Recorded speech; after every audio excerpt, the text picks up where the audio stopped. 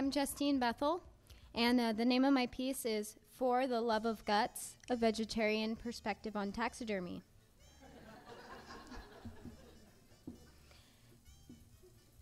I'd always assumed my first love would be a human, or at least alive.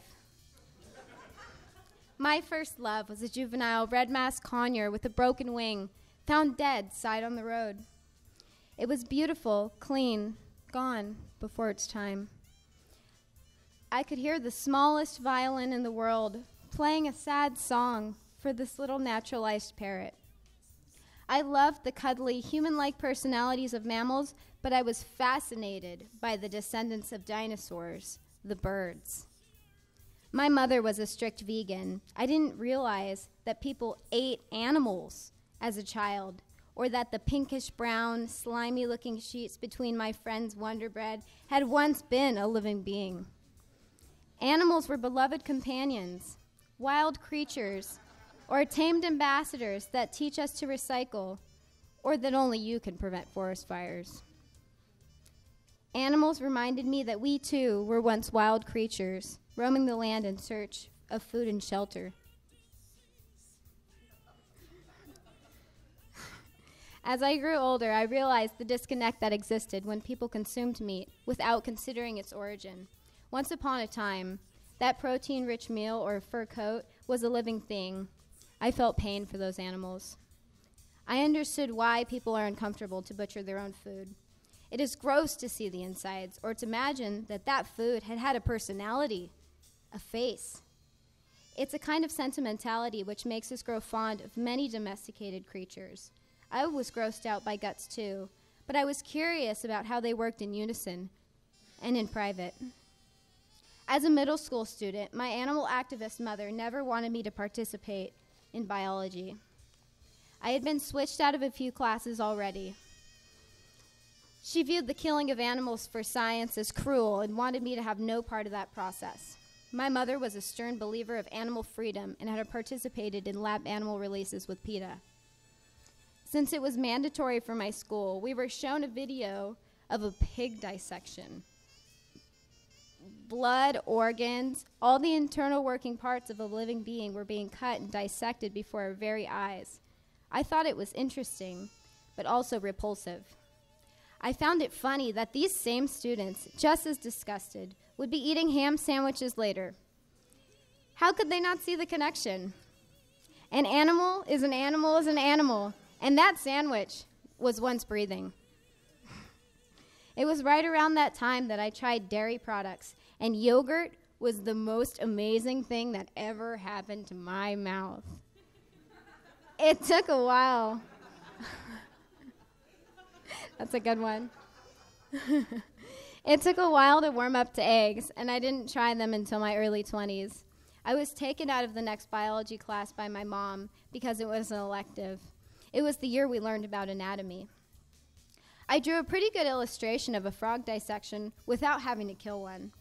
As word got around my mi- As word got around the middle school, my friends became aware of my fascination with biology.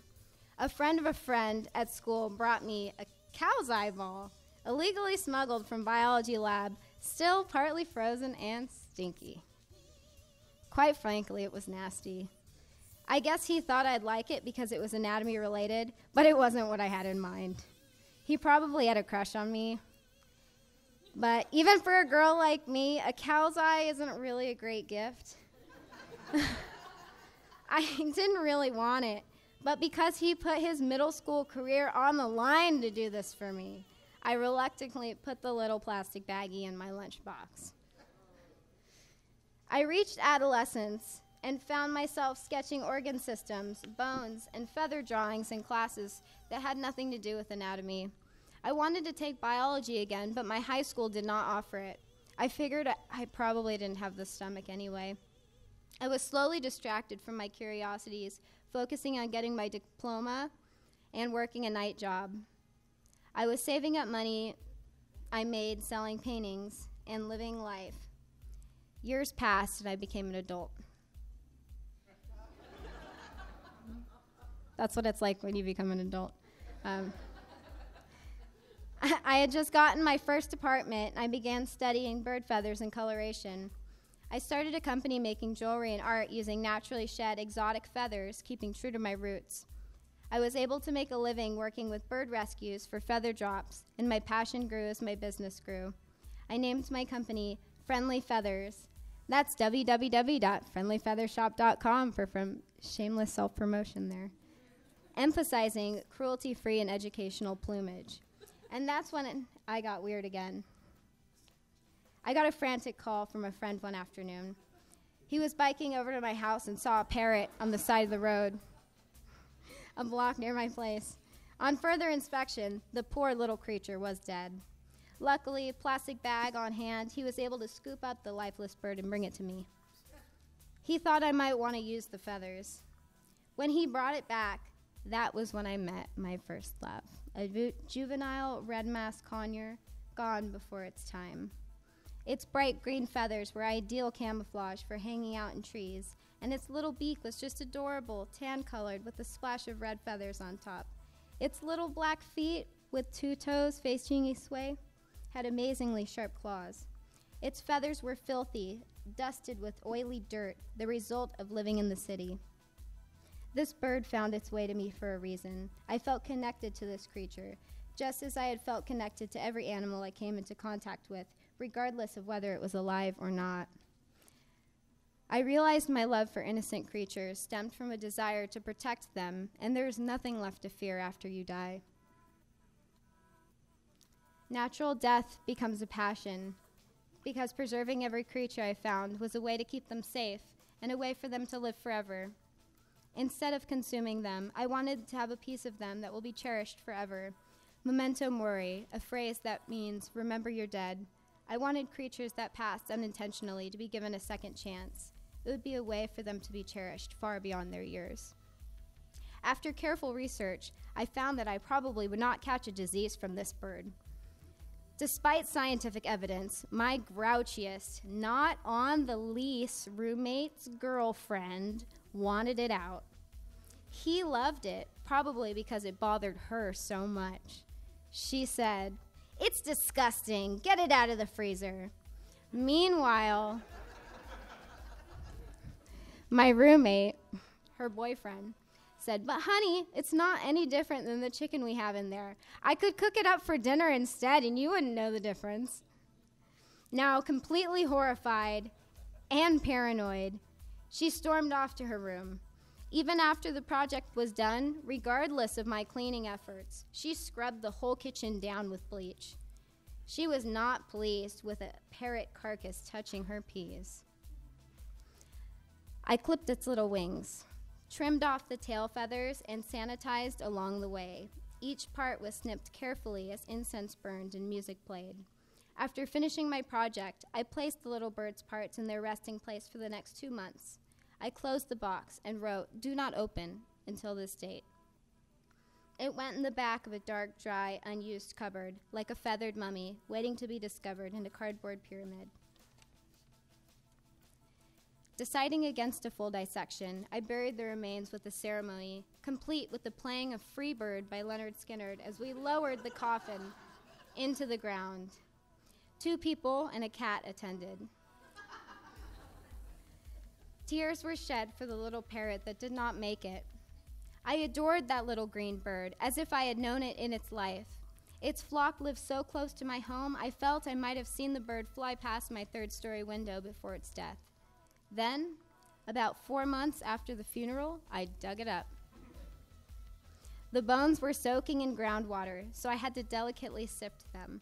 I soaked them in peroxide to clean and whiten them. It foamed like a bubble bath. One more day of drying bones, and by then I had a few decent pieces of partial taxidermy. I had wings, bones, a tail, and tiny feet. I planned appropriate items for each piece, such as a tail fan for prayer or ceremonies, a wing hair clip, parrot foot earrings, and pieces of an exotic bird skeleton. These items I intended to last much longer than the original owner, the parrot, and hopefully would outlive me too. I showed the finished pieces to my roommate's girlfriend, who was against the process the whole time. To my surprise, she touched the wings and was impressed that I could make something pretty out of a dead animal. They found their way into a private museum in the hands of a collector that appreciated and cared for this adolescent bird as much as I did. When I collected my check, I realized that this sort of art was profitable, and I began to seek out new specimens. It was now just a question of getting creatures that were not hunted and were not killed for my purposes. The world of natural death taxidermy is part luck, and part of it relies on good connections.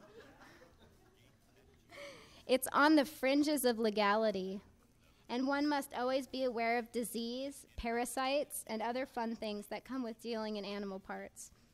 It's generally not something animal activists and vegetarians should do or would do. Whenever I decide to show a pe- few pieces in my cruelty free craft booth, it always shocks, disgusts, and amazes people. Little feet in jars are more popular than you think. And when you know it died without intentional cruelty, it's that much easier to enjoy. Thank you.